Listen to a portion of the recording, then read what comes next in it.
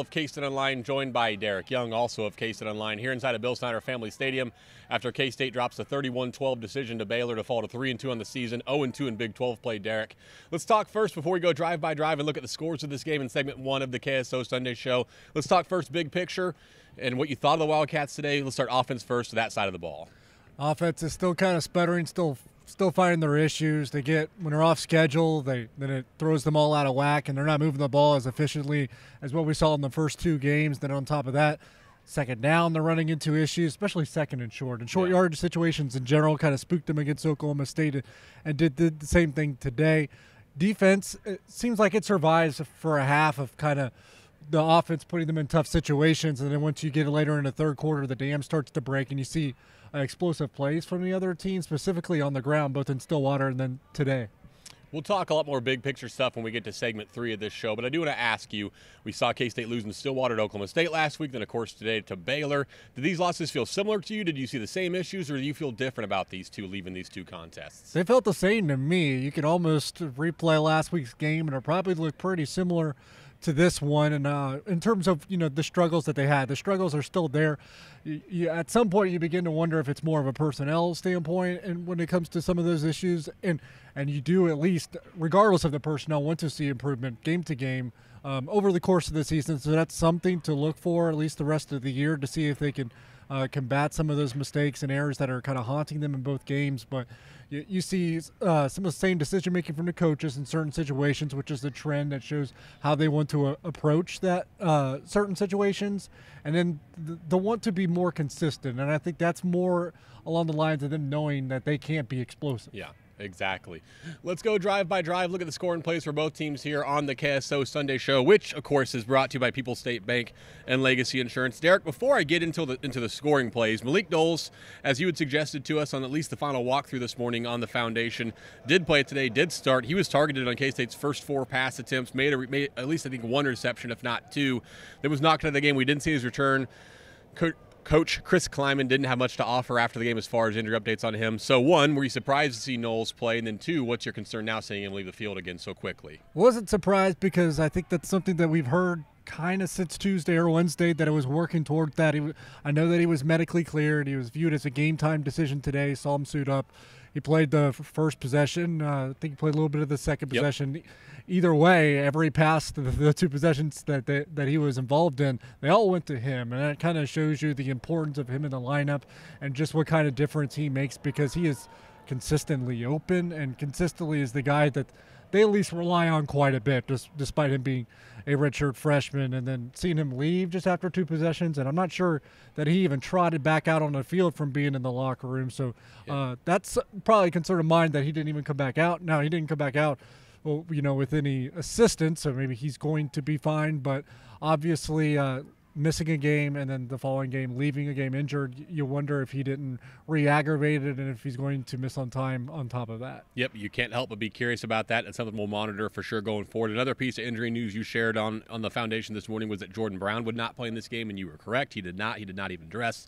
Uh, I asked Chris Klieman about him after the game, and he said it would be at least a few weeks. So, Derek, the first points do come from K State on a 31 yard Blake Lynch field goal that, that gives K State a 3 0 lead with just two minutes left in the first quarter. That drive, 10 plays, 60 yards. They had no Brown, they had no Knowles in that drive, but the Wildcats did put some stuff together between the 20s, of course, and move the ball in the first. Their first scoring drive of the game to go up 3 0 with a couple minutes left in the first quarter. Yeah, that wasn't the only drive where it seemed that they got into a rhythm at some point, but. Uh, and probably from what they said, a lack in consistency is what halted a few of those. So it comes down to not finishing them. But they moved the ball in between the 20s. And, yep. and ironically, Skylar Thompson threw a career high in terms of single game today. He absolutely did. Yeah, I think the career high was what 213 coming in. He threw for 218 today against uh, against Baylor. Baylor does answer not long after that. 14:27 left in the second quarter. A 36-yard field goal from John Mayers. Uh, eight plays, 57 yards, 244 off the clock, ties it at three to three. Still like K State's chances, I'm sure at this point. Uh, Derek, the next touchdown though, the next score is a touchdown from Baylor. It is Tyquan Thornton who made back-to-back catches that looked virtually identical. He had a 27-yard completion to pick up a first down to the 29. Then the next play he scored from 29 yards out from Charlie Brewer. Now it's 10-3 Baylor with 6:38 left in the first half. Derek. Yeah, that that play or that drive was more about the explosion through the offense. Uh, they're passing the ball, but as the got later in the game, they started to leak out rushing the ball, and uh, the, the, field goal by John Mayers was a guy that's also recruited by Kansas State and Sean Snyder at one point. But you still feel like you're in the game, and probably no despite being down ten to three, I thought K State outplayed Baylor up until that point. I wouldn't disagree with that. So, you, like you said, 10 3 at that point. We don't have a lot of clips to show you for this, but we will bring up K State does have a fourth and six at the 37 of Baylor with a couple minutes left in the first half. They do punt it away. They actually get a great effort the first time and down it at the one. It gets called back due to kind of a confusing penalty. Um, and then K State only gets to the 21. So they only get 16 yards there. I don't want to make a mountain out of a molehill, but now you've seen K State later in this game. They pass on a touchdown, try to kick a field goal when they need three scores to get back in the game.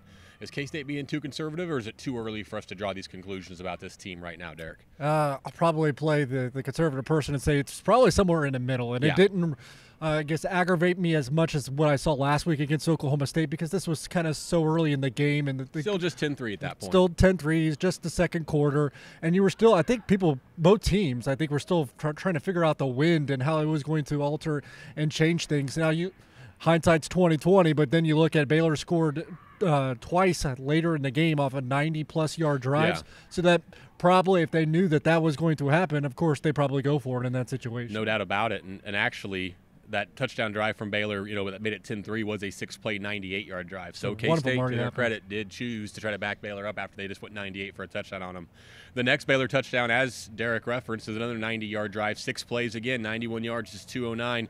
John Lovett breaks a number of tackles, bursts in there from 13 yards out. Now Baylor's up 17 3. There's still 12 minutes left in the third quarter, but K State's started to slow down on offense enough to this point where I think it's going to be difficult to get back into it. Down 17 6 with 11 27 left in the third quarter, DY. Yeah, as we were watching, I think I said even at, at that point, or maybe it was a hair uh, later than that, that for K State to have a chance, they were probably going to have to score a touchdown from uh, phase of the game that wasn't the offense. It was going to have to be a right. non-offensive touchdown, whether it came from a special teams like Malik Knowles did against Mississippi State, or whether it came from the defense. Because when you're struggling to find ways to score uh, and only moving the ball within the, the 20s and 30s, and you're limited in what you could probably call as a play caller. Uh, that's why sometimes I try to revert from criticizing the coaches too much because their offense is so limited in terms right. of uh, playmakers and, and true difference makers that they have to be consistent to have these methodical 10, 11, 12 uh, play drives. And that, that's just tough to do without, you know, an ab- just an absurd amount of efficiency, an absurd amount of consistency. So there's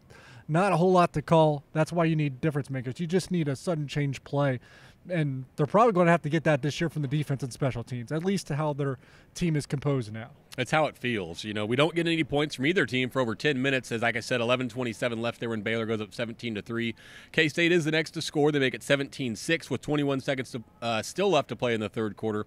This is a Blake Lynch 29 yard 29 yard field goal to cap off a 12 play 61 yard drive that took 6:24 off the clock. So if I was going to nitpick one, this would be the one. You're down 17-3. That's 14 points. That's a two score game.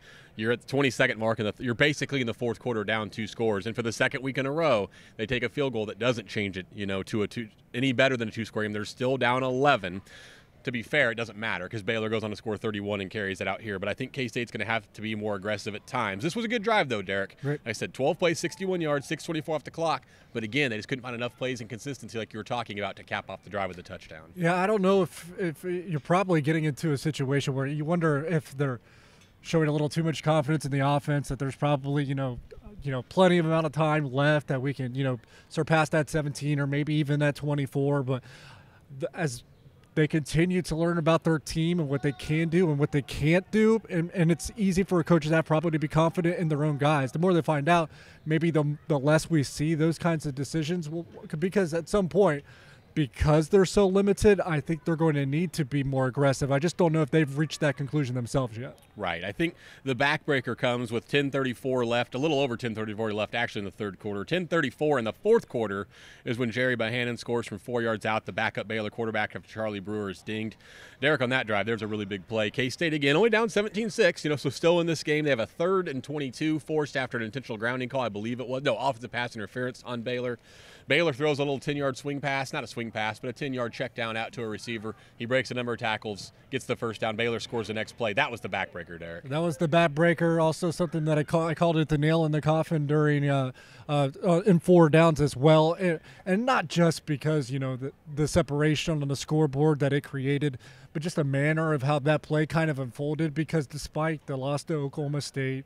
Uh, they grinded out that win against Mississippi State. Like nothing had really been truly disappointing from uh, just what you saw on the field. Everything looked even up to that point, I think uh, you know better than what we saw last year. Yeah. But that that play kind of reminded me a little bit of last year, where it's really a simple play to make. It's an easy play to make, and they just flubbed it so much.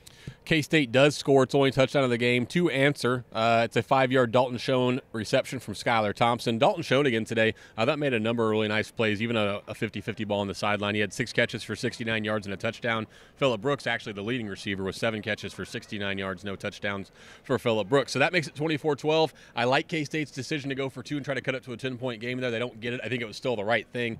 Baylor comes back and answers one more time with a John Lovett 46 yard touchdown run. That would provide the final score of 31 to 12, Derek. We're going to come back in segment two and hear from Chris Klieman. We'll get Derek back in segment three to talk some big picture stuff on the KSO Sunday Show, which is brought to you by People's State Bank and Legacy Insurance. Uh, you know, you know, 14 of those points uh, came in the fourth quarter, so that's just something we have to buckle down on. Is just finishing the game, you know, playing for all four quarters, not you know three quarters or three and a half quarters, and um, you know, like I said, we just got to fix our tiny mistakes and uh, you know just get better at tackling, of course and uh, you know just you know just keep filling our keep filling our gaps, uh, playing our schemes because you know um, my, in my opinion, you know this isn't anything on the coaches at all. This is all players.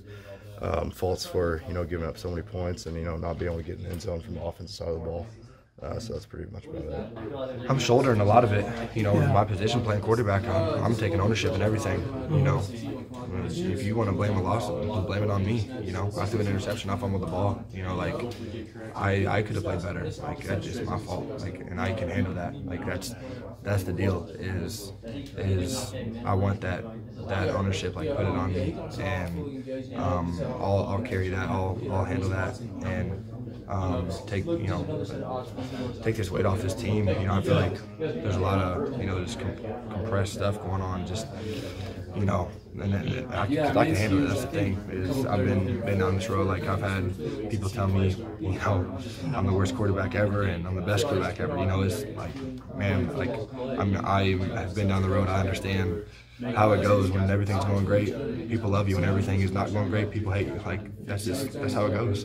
Um, and you know, I've been fortunate to have some experience and um, and been around the block a couple times, and that stuff doesn't phase me. You know, and I'm I'm gonna be fine. Um, and this team's gonna be fine. I promise. Like I'm, we just gotta figure things out. Like nobody said this was gonna be easy. We got a whole everything's you know this is new. You know, there's a lot of great things that have that have came that have came this season and hit a little bump. Like, man, that's just, that's part of it. You know, nobody said it was gonna be smooth sailing all season. Like, you know what I'm saying? So, um, I understand like that's hard for some people to um, understand and um, you know whatnot. But you know, this team's not shaking. The coaches aren't shaking. We keep they believe in us. I believe in them. We believe in them, and and truly, at the end of the day, that's all that matters. I mean, I think it's anger, disappointment, kind of a mixture of them all. Um, it's just tough um, in college football when you prepare for a whole week and you yeah. go out and play a game, you don't play your best game um, as a team or as a person.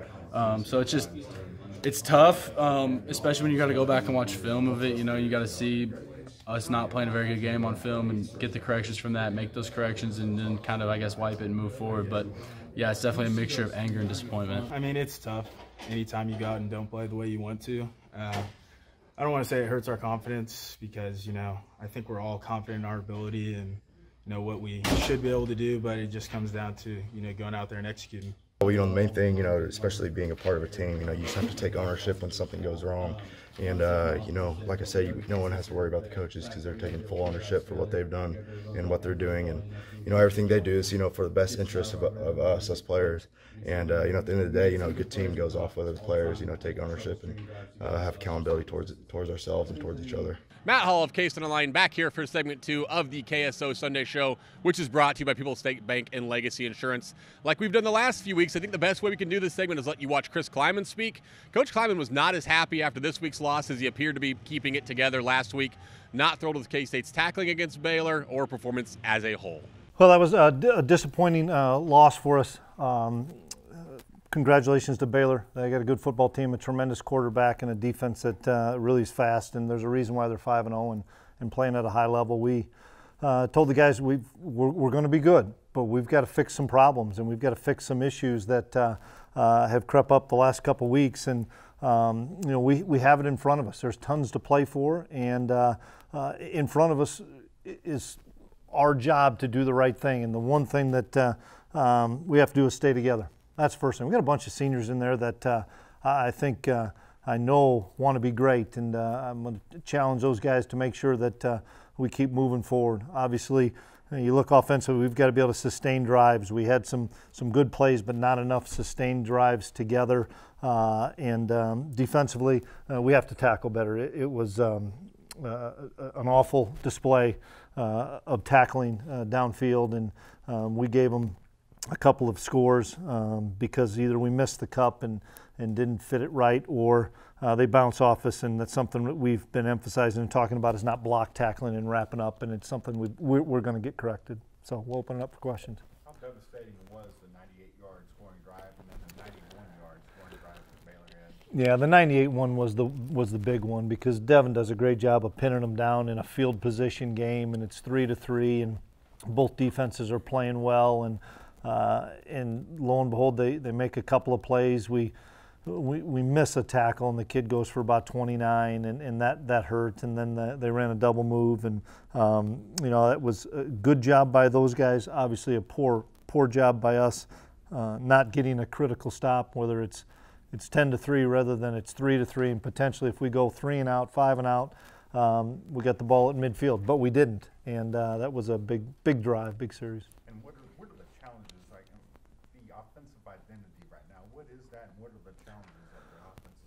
Well, a we've we've still got to be able to run the football. I mean, that's that's what we have to be able to do. We can't have Skylar back there throwing it, it 50 times a game, and and uh, you know, he threw it 34. We'd rather have him in the 25 to 30 range, but we have to be able to sustain some things running the football um, wherever it may be. Uh, and you know, Malik tried to go today, um, wasn't able to go. Uh, after a, series or two. I, I appreciate the, the young man because he, you know, he wanted to play for his for his brothers and stuff, and he, he couldn't do some things. Uh, Phillip did some good things, um, but we've got to have um, you know more production uh, as a whole offensively, and something that we'll continue to work on. Um, you mentioned Malik. I know it's early, but I was curious if you had any understanding of uh, his prognosis going forward, and then Jordan Brown. Yeah, uh, don't have anything on Malik, and Jordan's probably a few weeks injury. How much has the, the confidence of the offense been hurt now after the last few weeks? Um, well, you're always going to be hurt a little bit just because you, you want to be successful. Uh, but uh, you know, you have to keep powering through it. You have to keep finding ways to, to matriculate some offense. And I thought we did a better job today than we did last week. Once again, we just weren't able to sustain it. But uh, uh we've got a winner that's a quarterback. Uh, we've got a, a, bunch of seniors in the offensive line that we got to continue to challenge, and, and, and we'll get it flipped.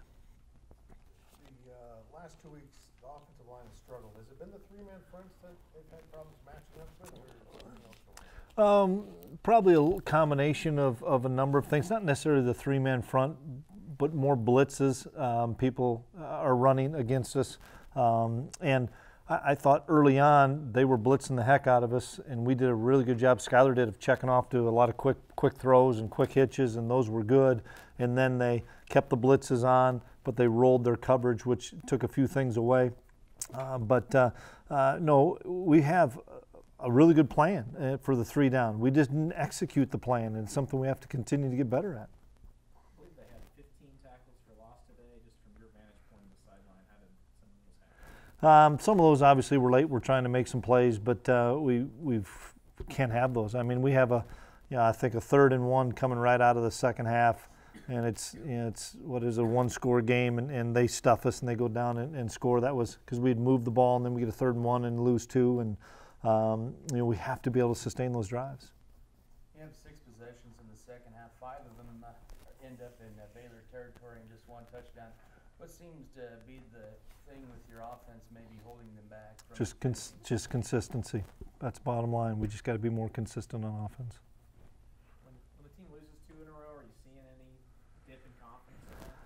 Like I said, y y that's human nature, um, but that's our jobs as coaches to, to get them back, and the jobs of seniors. You know, we all are accountable. We all have to be better. It starts with me, and, and I've got to be better um, and, and make sure and push the right buttons. And the seniors have to uh, be better. Everybody's got to.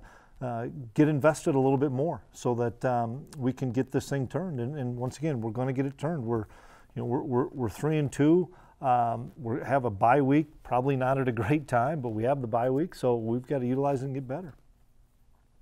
Coach, during the week, you had mentioned that um, you know with every every new system, there's going to be um, some adjustments that need to be made, uh, Mhm. um, especially on the offensive line.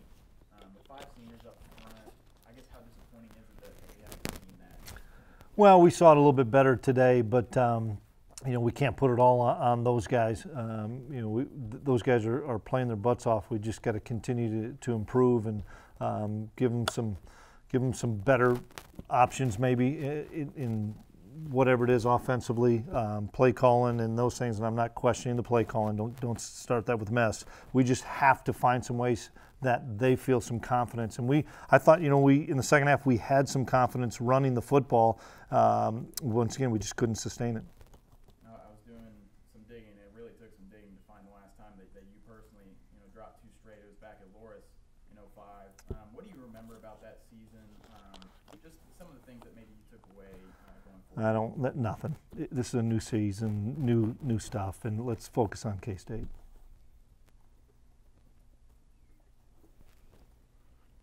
I guess just in hindsight, any regret to not being more aggressive on fourth down? A couple of instances, the field goal and then the first. Yeah, we it, once again, it's all the feel, all the flow of it, and and um, you know, you're fourth and three, fourth and four, and um, you, you're not running the football exceptionally well. Um, you know, I wanted to try to keep the game as close as we could to give us a chance in the fourth quarter, uh, and uh, so that's kind of why we did it. Are you trying to stay away from running Skylar, very much? Because the, time, the times you have running, Mhm. it, it has worked, but are you kind of Yeah, we're picking and choosing our spots. Um, you know, we had a couple of draws for him and stuff, but um, you know, we, we're trying to eliminate some of the shots on the guy uh, without question, and and uh, some of the reads are give reads. Um, some of the jet stuff we run are more give reads uh, on the perimeter and not keep reads. So some of that's it's a called potential quarterback run.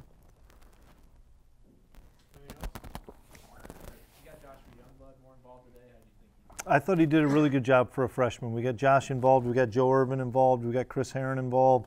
We're trying to uh, find a few more playmakers, and um, you know those guys made some plays, probably made some mistakes, but uh, they're they're making them fast, and um, good chance in the open week for us to continue to try to um, find some guys that can give us some production. Last season, I'm talking about last season uh, at K-State, um, one of the issues was, was passing touchdowns. Yep. K-State didn't get the ball in the end zone with the pass very often. What, what's been the struggles there right now that you've been uh, able to identify?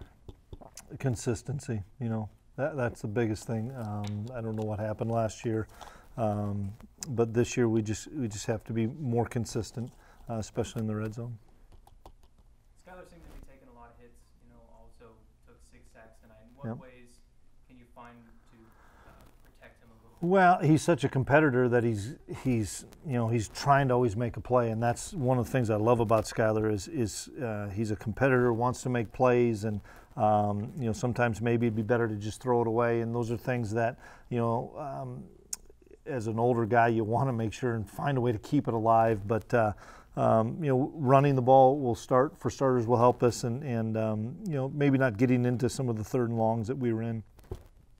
At, at what point do the fumbles with James Field? I, I was a little, a little frustrated. Yeah, you know that's part of the reason why we went with Joe a little bit more um, because uh, I know he got a couple of them back, but uh, um, something that uh, we have to be able to shore up and and because we, we can't afford to to turn the football over without question. Are there, cut, are there cutback lanes that your running backs did a better job of seeing in the second half? Yeah, potentially. You know, without just naked eye, potentially we did. I thought they ran hard, and I thought there were some seams in there, but um, you know, without having the video in front of me, I'm not quite sure. Last one. Back-to-back losses heading Yep. into another bye week. What kind of things are you hoping to seal up with this team with another just, just keep improving, keep tackling better on defense. Probably go a little bit more ones versus ones, and uh, keep working on getting open in, in coverage, and keep working on uh, everything. There's nothing that we're not going to work on. There's nothing that we're we ha- can improve on, and, and we have to get better without a doubt.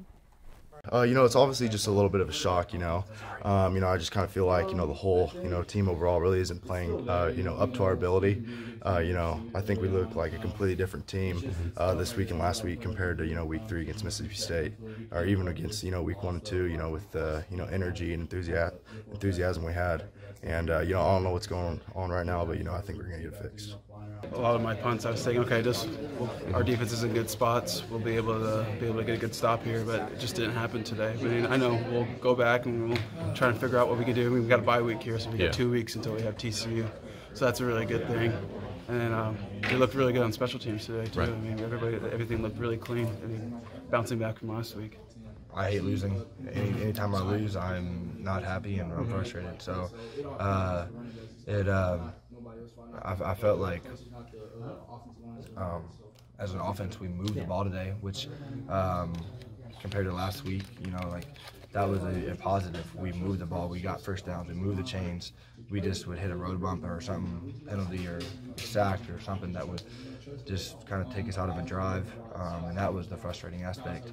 Um, but I mean, I, uh, you know, there's nobody that I'm a competitor. I'm, I'm, I'm trying to do everything I can to win. You know, like I'm, I'm playing my hardest. I'm doing everything I possibly can. Like I understand I'm making mistakes and not playing perfect, but I mean, you tell, tell me somebody who's ever played a perfect football game. You know, so uh, you know, I'm, I'm doing my best, and I'm gonna can continue to grow and learn from my mistakes, uh, and just keep get, get, getting better. You know, uh, that that's all I can do. I can't look in the past and dwell on it. I can only learn from it. So that's all I'm gonna do. Derek and Matt back with you for the third and final segment of today's KSO Sunday Show, which is brought to you by People's State Bank and Legacy Insurance. Derek, we've talked about the same quite a bit already. We'll back off, talk big picture. K State's 3 and 2, 0 and 2 in the Big 12, heading into another bye week. I think most people, I can speak for myself, would have taken 3 and 2 through five games, or at least expected that was most likely. But they got there in a different way than I think people expected, and that helped change expectations. Yeah, because I think we saw uh, expectations rise, confidence rise, excitement rise, especially because they, not only because they started 3 and 0, but just probably the element of what it also provided that win on the road in an SEC environment, kind of that marquee non conference thing that Kansas State just hadn't been capitalizing on Right. it for a number of years. They capitalized on it this year. Um, now you got probably people think, uh, you know, expectations rose in that after that uh, three game start, and now you probably have people jumping off a cliff and saying it's a fluke. I'm guessing it's probably somewhere in the middle of those two. Right. I would feel the same. Now, I'm not going to try to turn the narrative and make excuses for this program because they're not going to do that either. But if we go back to you know May, June, July, and we tell each other, hey, this offense will lose Hunter Rison, Isaiah Zuber, Malik Knowles, and Jordan Brown, and not have them this point of the year, we'll think, man, it's to be pretty rough. That's what K State's dealing with right now. Is the offense K State has what they're going to be until they add more playmakers back, or do you have hope this group can get better over the course of this season? I, I've hoped that it can get better because even though they are limited, they still have enough guys at running back where I don't think that's uh, an issue right now. Yeah. And I think they're getting great play from James Gilbert. And he had Almost another- 100 yards again today. Yeah. so I think they're getting great play from him. Receivers, the reason why I think still you got to look at this, the arrow pointing upward, is that at least three or four of these guys that are playing are actually freshmen. You're right. Phillip Brooks is a freshman. Joshua Youngblood is a freshman. Landry Weber is only a sophomore. He played today. Um, Sebastian Taylor hasn't played a whole lot, so there's still a lot of inexperience at the receiver position. And I think it'd be naive to not to think that they're going to get better as the season goes on. And I, I think you're starting to see that. Phillip Brooks was today's leading receiver. Uh, not only was he the leading receiver, he had two great third down grabs, and uh, when the game was still you know in the balance. And even Dalton Schoen, he, he's. Uh, two really tough catches today that I don't know if he makes a year ago. So I think they're already showing some development. One unit we haven't talked a lot about, at least in a critical sense, but I want to ask you about is the offensive line. Again, I don't think they were terrible today. It's hard to be terrible when you have a back like James Gilbert, averages over- five yards a carry, gets right around 100 yards. But Skylar Thompson sacked six times, a number of those on three man rushes without any blitz, without any pressure coming. Was that unit concerning to you today or just a one game blip? Uh, I, I'm a little bit concerned by that unit because we also saw them probably not to play up to what my expectation would be for them when they were in Stillwater. Uh, and even in Mississippi State, I think that was kind of an uneven uh, game for this group. So I think you're starting to see a trend where you, you wonder what you, if what you saw against Nicholls and Bowling Green is what they are going to be. So they need to bounce back. They need to kind of impose their will, so to speak. Uh, we got some music now. I guess so, yeah. But uh, I, they're just so uneven right now, and maybe consistency. When Chris Klieman's talking about consistency, when this locker room's only talking about consistency, Yeah. it's probably this group is a, the epitome of that. I would agree. Let's flip sides the defense. I thought the defense, for the most part, was pretty good today. You'll give up plays in a Big 12 game at any point. I think until the missed tackles on third and 22 and the late John Lovett touchdown run of 43 yards out, they'd probably been pretty good. Yep. How did you felt the defense up till that point? Up until that point, you know, they, they were passing the test once again. So I, I still love what they have on defense. Love maybe is a strong word, but they're still passing the test and they're still uh, doing enough for wins. You give up 26 to Oklahoma State, you probably feel good enough to win that game. Before it got real funky in the fourth quarter, you, it, against Baylor, that point total that they were going to give up before that, you probably Right. feel like you're good enough to win that game. The disappointment to me was the fourth quarter where they started to let things go that was probably what I was most critical of last year, and you saw that pop up. So they have to really bounce back. So you hope they're not reverting back to uh, old habits. I don't want to overreact to one loss, just like we shouldn't to wins. A lot of winnable games left in the schedule. But talking about this defense, Derek, and something I think you said to me we were just talking around, it may be a unit that once in a while is going to have to provide a pick six, a tip ball interception, a game changing play to get this offense going. Because as good as the defense has been, the last couple of weeks it did force a couple turnovers against Oklahoma State, but none of these that are putting the team in great field position. Is that what this team needs now? Is a spark from defense, special teams, something like that to make it easy on the offense? Yeah, I mean, you can make the argument that the, the special teams sudden play from Malik Knowles Yeah. against Mississippi State probably Sure. won, won that game. So I think they're going to need that. They're going to need some kind of reinforcement. Jonathan Alexander already has a defensive touchdown this year, but you can't bank on that at each and every game. Uh, that's something that's a little rare. So that's probably where they are at right now that they have to rely on that and that's probably why you're going to see some of these outcomes this year. But you just look across the sideline i wanted to get this in. Matt Rhule's first year 1 and 11 so you get a little bit and now they're 5 and 0 so you see that building a program or rebuilding a program or putting the pieces together even in first year is going to be extremely challenging It does take time. It's something we expected. I think even I got guilty of saying, well, maybe this is sped up because of what's happened early in the season. And it's probably more like what we thought it was coming into the year. jump the shark You talk about building a program. I don't want you to give away too much. Of course, of course we love your subscriptions on K State Online, but a number of recruits here today. You have committed kids, you have non committed kids, you have 2021 kids. Just would be a taste for the watchers of the KSO Sunday show of what you saw on the sideline and what they can read for recruiting coverage the next week or so at KSO. Yeah, yeah. The four commits were on a sideline uh, taking their official visit this Yep. weekend, really. And Jalen Travis, the receiver, or try to remember all these names. Christian Moore. Christian Moore, the H back, safety Malachi Mitchell, and running back Deuce Vaughn. That's the one all you have to remember. Yeah. that's Cody uh, stuff will be unofficial, though. But Stuff yeah. will on the unofficial, another commit. So there are actually five commits in town. A four-star prospect from the 2021 class was here, and he looks really good on the hoof. So uh, that's you know optimistic, and you know plenty of other 2021 prospects, and, and there'll be even bigger weekends coming up in two or three weeks when they host Baylor in Oklahoma. No doubt about it. Frustrating Or time TCU. for us. yeah, TCU in Oklahoma. Frustrating time for K-State fan. You've lost two straight after a great 3-0 start. I understand it's frustrating, but like Derek said, there was a great list of recruits here today. K-State's going to have a, an off week, not a bye week in my opinion, and then play TCU next week with a chance to go to 4 and 2. As bad as things feel right now, it could feel much different 2 weeks from now. It could. It could feel great two weeks from now. Uh, it's we we're guilty of jumping the shark, Absolutely. but there's there's still good things to take from today's performance, and there's bad things, and.